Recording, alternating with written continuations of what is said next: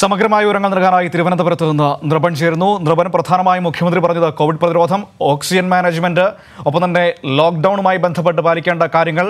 സമഗ്രമായ വിവരങ്ങൾ. മനു ഏറ്റവും പ്രധാനപ്പെട്ട കാര്യമെന്ന് പറയുന്നത് സംസ്ഥാനത്ത് ടെസ്റ്റ് പോസിറ്റിവിറ്റി നിരക്ക് ഇന്നും ഇരുപത്തിയാറ് ദശാംശം അഞ്ചിലേക്ക് ഉയർന്നിട്ടുണ്ട് എന്ന് തന്നെയാണ്. അത് തന്നെയാണ് മുഖ്യമന്ത്രി ഏറ്റവും അടിവരയിട്ട് പറഞ്ഞതും.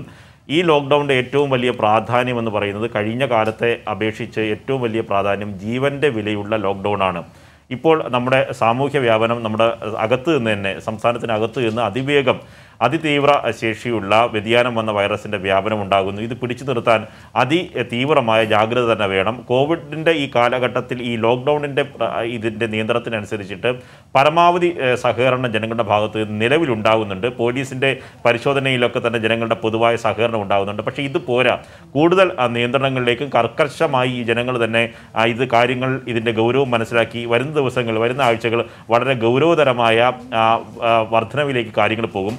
അത് നിയന്ത്രിച്ചു നിർത്താനും മുഖ്യമന്ത്രിയുടെ വാക്കുകൾ തന്നെ അദ്ദേഹം പറയുന്നുണ്ട് നിലവിലുള്ള ചികിത്സാ സംവിധാനങ്ങളും രോഗികളുടെ എണ്ണവും നമുക്ക് അനുപാതം നിയന്ത്രിച്ചു നിർത്താൻ കഴിയണം.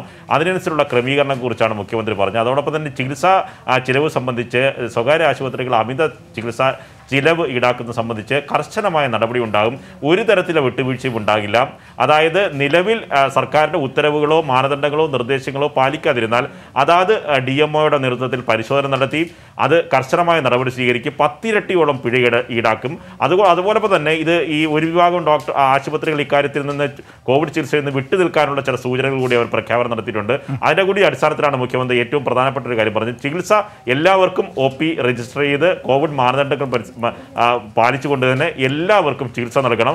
പക്ഷേ സർക്കാരിന്റെ നിർദ്ദേശങ്ങൾ പൂർണമായി ഈ ഘട്ടത്തിൽ അനുസരിക്കണമെന്ന് മുഖ്യമന്ത്രി പറഞ്ഞു. അതുപോലെ ഓക്സിജനുമായി ബന്ധപ്പെട്ടിട്ടുള്ള ക്ഷാമം പരിഹരിക്കുന്നതിന് ലഭ്യത ഉറപ്പുവരുത്തുന്നതിന് വേണ്ടി മുഖ്യമന്ത്രി പ്രധാനമന്ത്രി കത്തയച്ചിട്ടുണ്ട്.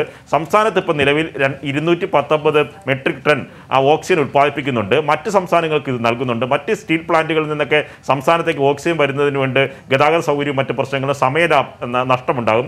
അതുകൊണ്ട് സംസ്ഥാനത്ത് ഉത്പാദിപ്പിക്കുന്ന ഇരുന്നൂറ്റി പത്തൊമ്പത് മെട്രിക് ടൺ ഓക്സിജനും സംസ്ഥാനത്ത് തന്നെ വിനിയോഗിക്കാനുള്ള അനുവാദം നൽകണമെന്നും പ്രധാനമന്ത്രിയോട് മുഖ്യമന്ത്രി അറിയിച്ചിട്ടുണ്ട് എന്നും വാർത്താ സമ്മേളനത്തിൽ പറഞ്ഞു മനു.